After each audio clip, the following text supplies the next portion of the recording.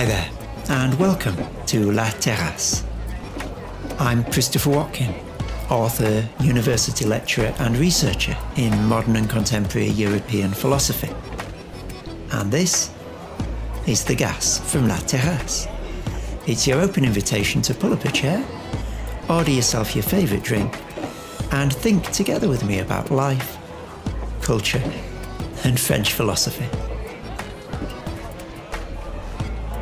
This episode is an audio version of a blog post that I wrote on March the 22nd this year. It was the fourth in a series of reflections on the COVID 19 pandemic in the light of Albert Camus' The Plague, which I reread recently. The post is called Pandemic Temporality The Strange Times of COVID 19. I hope you enjoy it.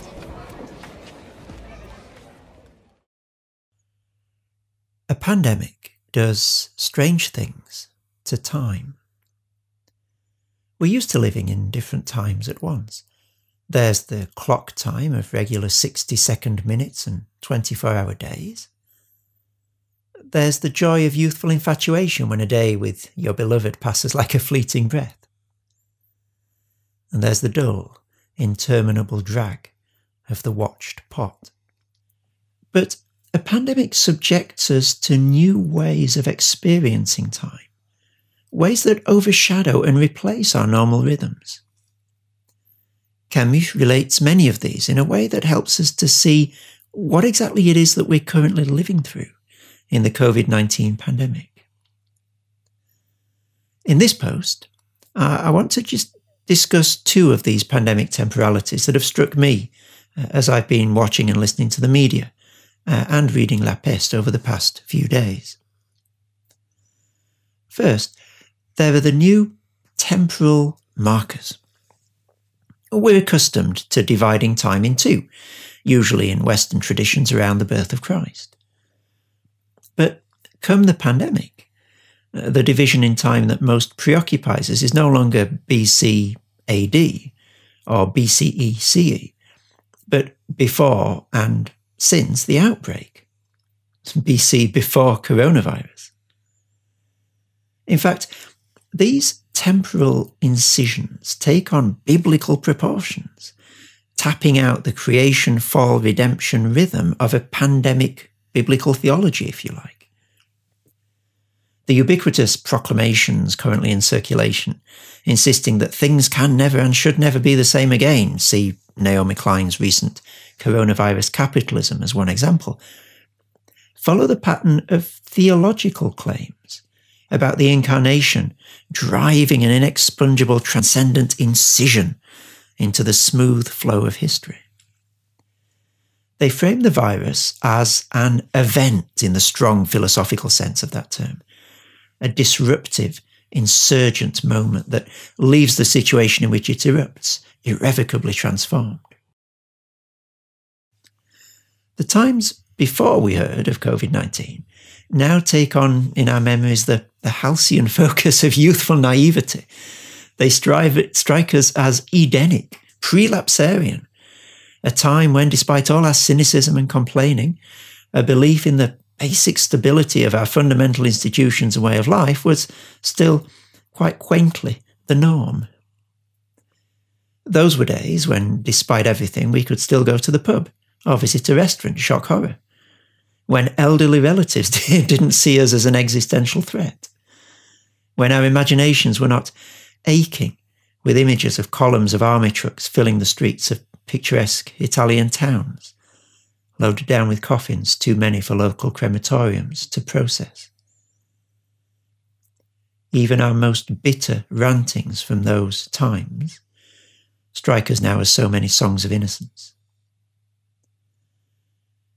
As for naming the period when the pandemic will have receded, in the past week I've heard it called the after time, a, term that's dripping with both heavenly and eschatological hope and with post apocalyptic trauma. And this viral eschaton is brought home to the imagination by the speculative timetables in terms of which it's presented to us. It will, in Boris Johnson's quaint anthropomorphism, be 12 weeks before we, quote, send the virus packing. And the Parousia of a vaccine flickers dimly on the horizon for those with the eyes to see and the faith to believe in its redemptive advent. Secondly, pandemics ruthlessly recode common temporal markers. And this, for my money, is one of Camus' masterstrokes in La an experience that he renders with an exquisite lightness of touch that's only possible in works of fiction, really, and that, that underlines once again, where it needed, why the arts have a central role to play in helping us understand and come to terms with and respond to this pandemic. So let us take one temporal marker then and, and follow its transformation in the pages of La Peste. Camus leads his reader on a painful journey in which the common associations of spring, the season of spring, are stripped away as it takes on a new symbolic meaning for the inhabitants of Oran. The onset of spring, before the plague, is a pleasant, natural, delicate event in the dreamy Algerian city, as Camus writes. Le changement des saisons ne s'y lit que dans le ciel. Le printemps s'annonce seulement par la qualité de l'air, ou par les corbeilles de fleurs que le, de petits vendeurs ramènent des banlieues. C'est un printemps qu'on vend sur les marchés. And the translation, the seasons are discriminated only in the sky. All that tells you of spring's coming is the feel of the air or the baskets of flowers brought in from the suburbs by peddlers. It's spring cried out in the marketplaces. And this baseline serves then only to render the transvaluation of spring in the novel all the more painful. Uh, we're given the first subtle hint of this impending recoding only two pages later when Camus writes Rien ne pouvait faire espérer à nos concitoyens les incidents qui se produisirent au temps de cette année-là et qui furent, nous le comprîmes ensuite, comme les premiers signes la série des graves événements dont on s'est proposé de faire ici la chronique. Our fellow citizens had not the faintest reason to apprehend the incidents that took place in the spring of the year in question, and were, as we subsequently realized, premonitions of the grave events we are to chronicle. Camus also informs us in passing that Tarrou, the chronicler of the plague, appears in the early spring in the city of Oran, an incidental detail that gains portentous significance in retrospect. The aggressive recoding of spring begins in earnest, however, with the death of the concierge. Uh, Camus' description of the vernal weather making it complicit almost in the mounting claustrophobia and deathliness of the city. He writes, Au lendemain de la mort du concierge, les grandes brumes couvrirent le ciel. Des pluies diluviennes et brèves s'abattirent sur la ville. Une chaleur orageuse suivit ces brusques ondées. La mer elle-même avait perdu son bleu profond et, sous le ciel brumeux, elle prenait des éclats d'argent ou de fer, douloureux pour la vue. La chaleur humide de ce printemps faisait souhaiter les ardeurs de l'été. Dans la ville, bâtie en escargot sur son plateau, à peine ouverte vers la mer, une torpeur morne régnait. Au milieu de ces longs murs crépis, parmi les rues aux victimes poudreuses, dans les tramways d'une jaune sale, on se sentait un peu prisonnier du ciel. Seul le vieux malade de Rieux, triomphé de son asthme, peut se réjouir de ce temps. the translation of that quote is on the day following old Michel's death, the sky clouded up, and there were brief torrential downpours, each of which was followed by some hours of muggy heat.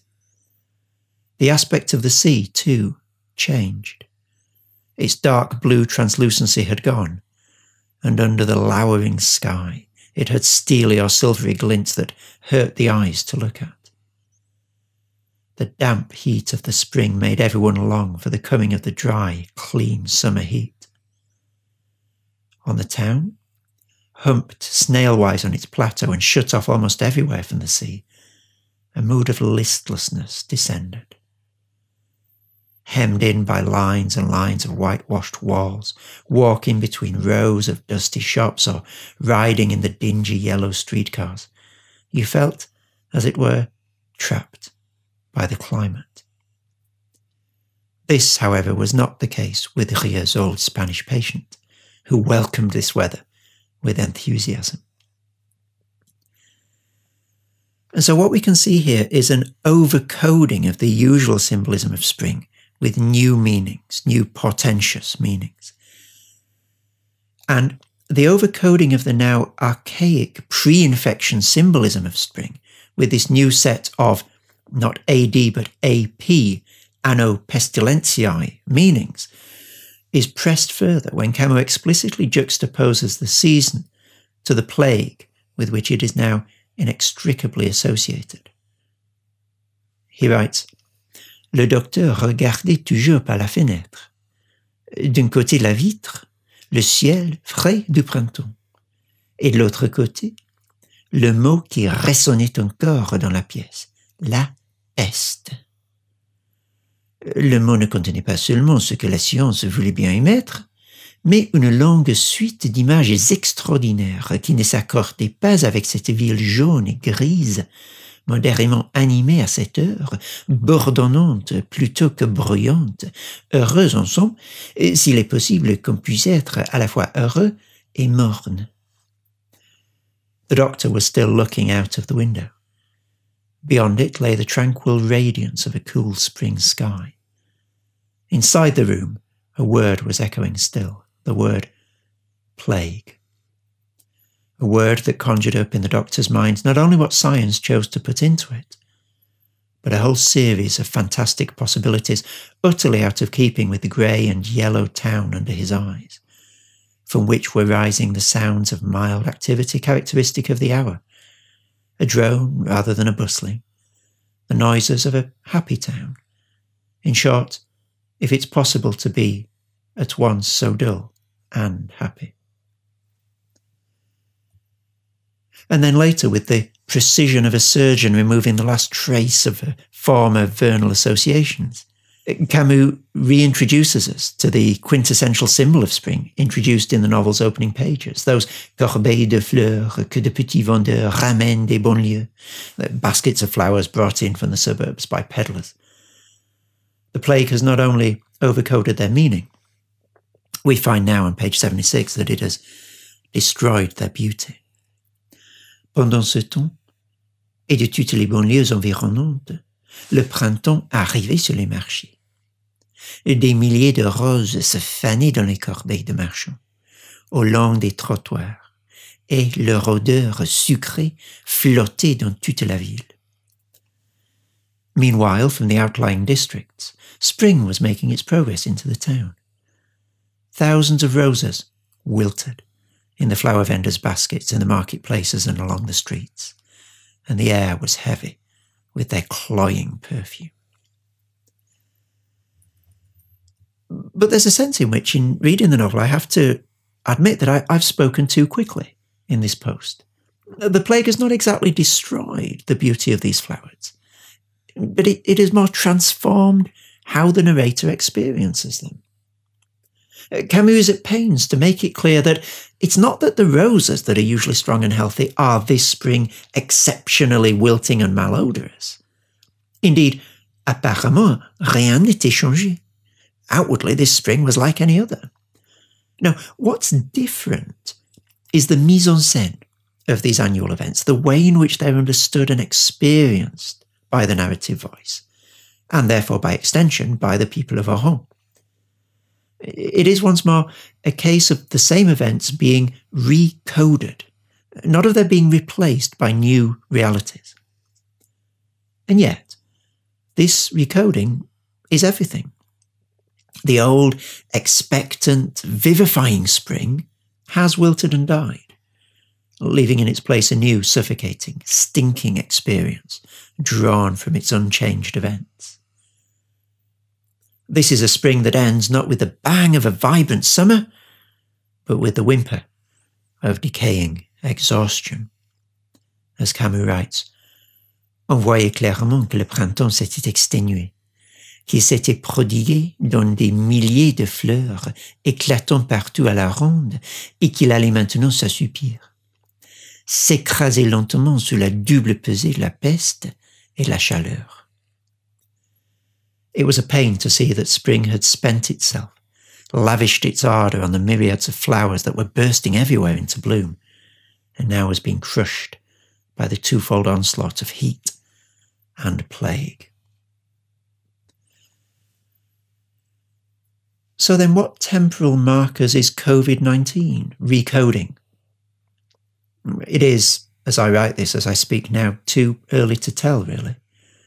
Perhaps the European Football Championships and the Olympic Games, if they're shifted to odd numbered years, uh, will remain as a visible scar tissue of a former trauma. There'll no doubt be anniversaries, national peak infection days, standing as each country's quote unquote darkest hour. Perhaps there'll even be a VE Day victory over the epidemic. In a future post, I hope to return to pandemic time in order to discuss the temporalities left untreated here. The 14 day quarantine period, for example, the average number of days from infection to death or cure, as well as the way in which these recoded temporalities contribute to what we might call a being towards virus, a new global mode of inhabiting the world that forces itself upon us uh, in what everyone has agreed are these quite exceptional times.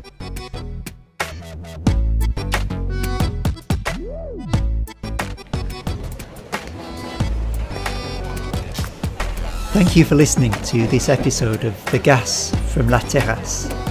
You can head over to iTunes, Google Play, or Spotify to subscribe or rate or leave a review. You can also find more content related to my research, writing, and blogging over at christopherwatkin.com. Until next time, take care.